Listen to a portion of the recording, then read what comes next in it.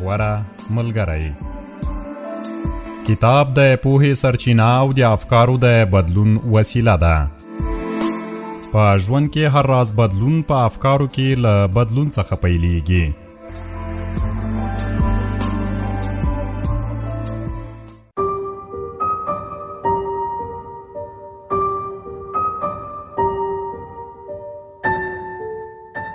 د هسک څښتن په سپېڅلي نام د سپوږمۍ رادیو قدرمن اوریدونکو او د غوړه ملګری د خبرونې مینوالو زما سلامونه او مینه ومنئ ستاسو د روغتیا او سلامتیا په هیله خوښیم چې یو ځل بیا د غوړه ملګری په خبرونه کې د مثبت فکر کتاب له 15مې برخې سره ستاسو خدمت حاضر شوم قدرمن اوریدونکو د کتاب نننۍ برخه له دې ځایه پیلوو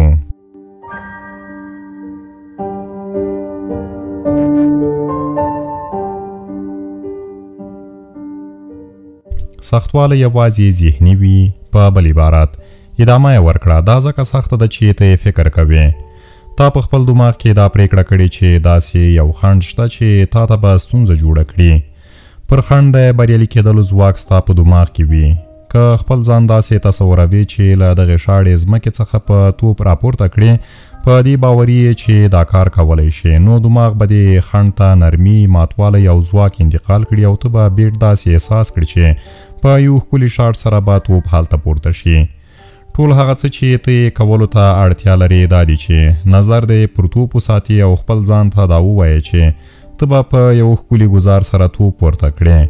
پرېږده چې سختوالی او فشار ستا څخه ووځي په خوښۍ او ځواک سره یې ووهه په یاد ولره سختوالی یوازې ذهني وي تر نن ورځې مې د هغه شاټ هڅونه د ځواک حس او خوښي په یاد ده ستاسو خنډونه موجود وي، دوی خیالي نه وي، مګر په حقیقت دومره ستونزمن هم نه وي، څومره چې ښکاري. ستاسو ذهني وضعیت ډېر مهم فکټور وي. باور ولرئ چې خدای په تاسو کې هغه ځواک ایښی وي چې خپل د ځواک په سرچینو په نظر ساتلو سره ځان له سختۍ څخه راایستلی شئ. دا ومنئ چې په دې ځواک سره ټول هغه څه کولی شئ چې باید ویې کړئ. باور ولرئ چې دا ځواک ستاسو څخه فشار پورته کوي، او دا چې ستاسو په هدیرنه کې جریان لري پر دې باور ولرئ د بریا حس به ولرئ اوس هغه خنډ ته وګورئ چې تاسو کړوي وبه وینئ چې دا دومره ډارونکی نه وي څومره چې تاسو فکر کاوه خپل ځان ته ووایاست سختوالی یوازې ذهني وي زه د بریا فکر کوم زه بریا ته رسیږم هغه فارمولا په یاد ولرئ، پر یوه کاغذ یې ولیکئ، په خپله بټوه کې یې واچوئ، په هغه هینداره یې ونښلوئ چې تاسو هره ورځ خپل ځان پکې ګورئ. په اشپزخانه کې د لوښو د پرېوللو له ځای سره کېږدئ، په خپل مېز ځای ورکړئ. تر هغو ورته ګورئ چې تر څو مو د شعور تل ته ځان رسوئ. چې تر څو ستاسو په ټول ذهني وضعیت کې نفوذ کوي، چې تر څو یوه مثبته اندېښنه جوړېږي، زه په زور د خدای سره هر څه کولی شم. لکه څنګه چې ما مخکې وویل، د قضیې سختوالی یا اسانوالی په هغه فکر پورې اړه لري چې موږ یې د دې په اړه لرو. ممکن وویل شي چې دریو کسانو د امریکایانو پر فکري پروسو اغېز کړی، ایمرسن، تورو او ویلیام جیمز.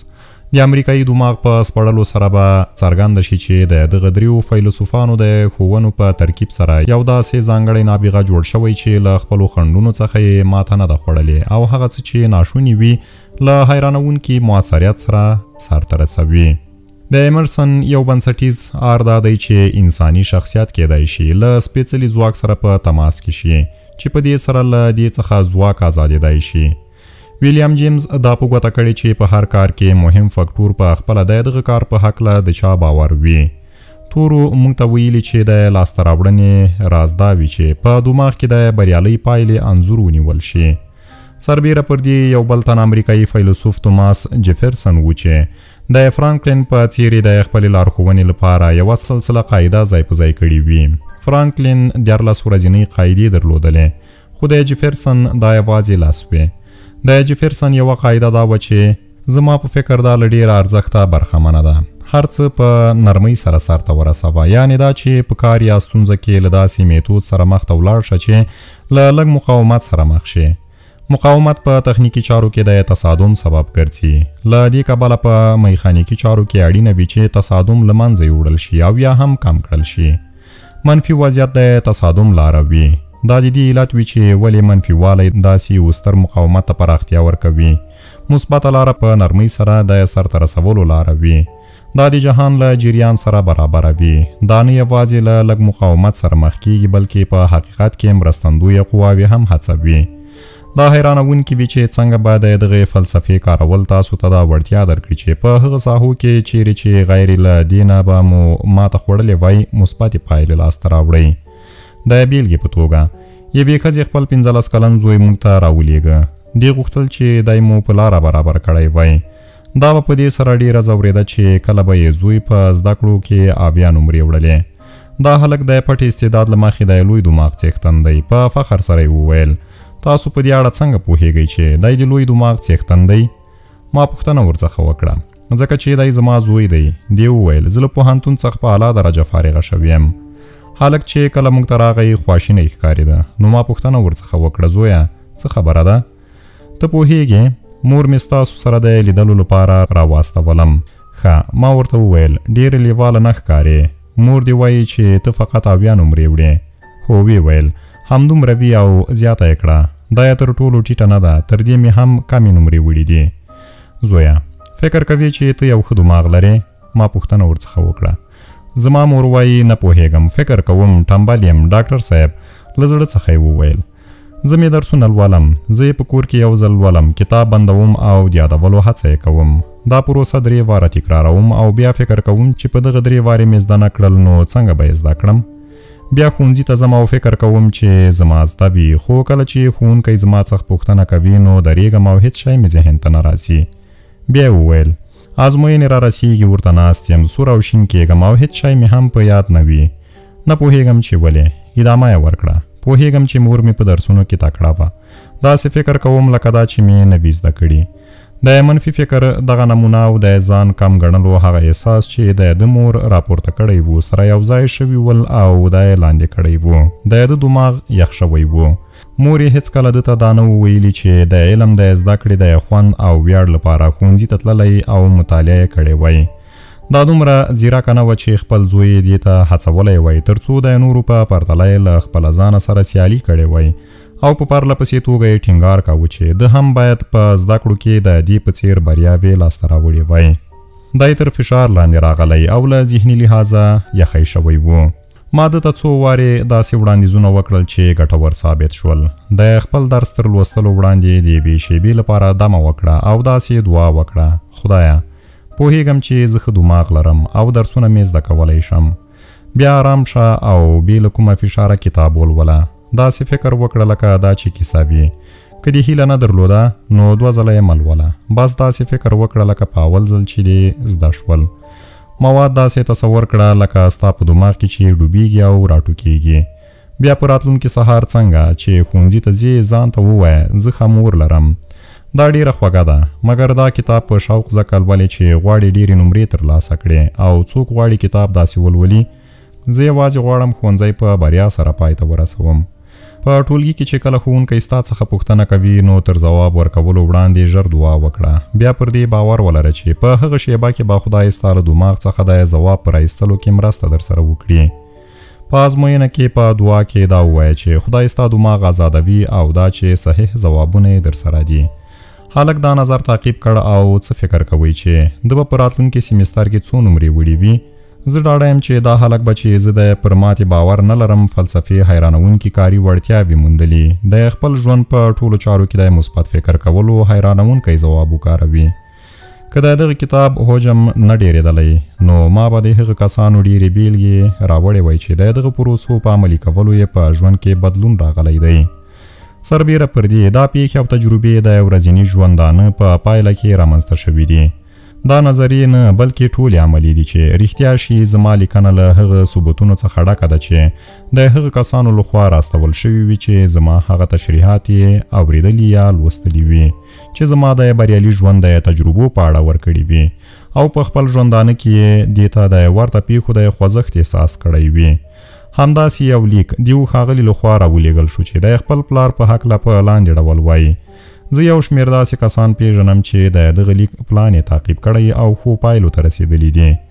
زما پلار ګرځنده پلورونکی و. ده به هر کال خپله موازینه بدلوله. ما اورېدل چې ده به مې مور ته ویل چې دا یې په قرطاسیه یا څراغونو او یا هر هغه جنس کې چې ده به همغه وخت پلوره وروستی سفر و، راتلونکی کال به هر څه بدل وای. موږ به ښه ژوند درلودای. ده له یو داسې شرکت سره د تللو فرصت درلود چې ځانګړی تولید یې کاوه او په خپله به یې پلوره. حالات تل همداسې ول. زما پلار داسې هېڅ جنس نه درلود چې پلورلی یې وای. تل به تر فشار لاندې و، له خپله ځانه څخه به بېرېده او تل به یې په تیاره کې شپېلۍ غږوله. بیا یوه ورځ زما د پلار یو پلورونکي ملګري ده ته د دریو جونلو لرونکي کوچنۍ دعا یوه کاپي ورکړه.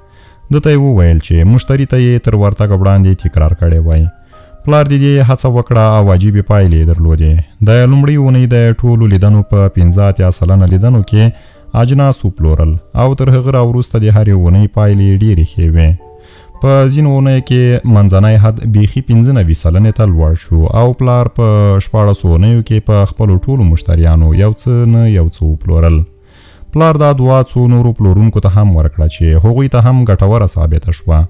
هغه دعا چې زما پلار به کاروله په لاندې ډول ده، باور لرم چې ما ته تل د خدای له خوا لارښوونه کېږي. باور لرم چې زه تل پر سمه لاره روان یم. باور لرم چې خدای به تل په هغه ځای کې چیرې چې هیڅ لاره نه وي ما ته لاره جوړه کړي.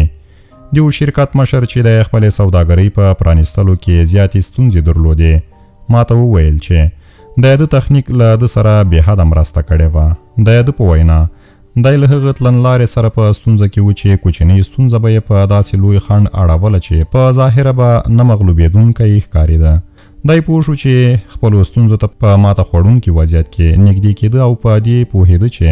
خنډونه دومره ستر نه ول څومره چې ده ته ښکارېدل.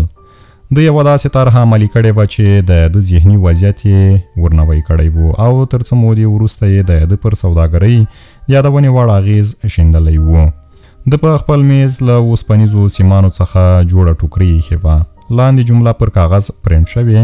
او پر ټوکرۍ نښلول شوې وه. له خدای سره هر څه شوني وي. هر کله چې به دی له ستونزې سره مخ کېده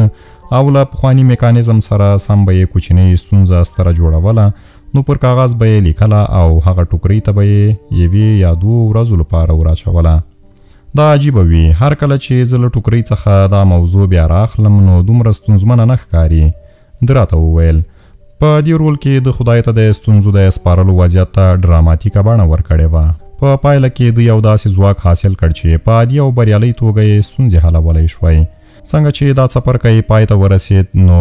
لطفا ځینې جملې په لوړ اواز تکرار کړئ زه پر ماته باور نه لرم دا تر هغو تکرار کړئ تر څو مو په نیمه شعوري وضعیت تسلط پیدا کوئ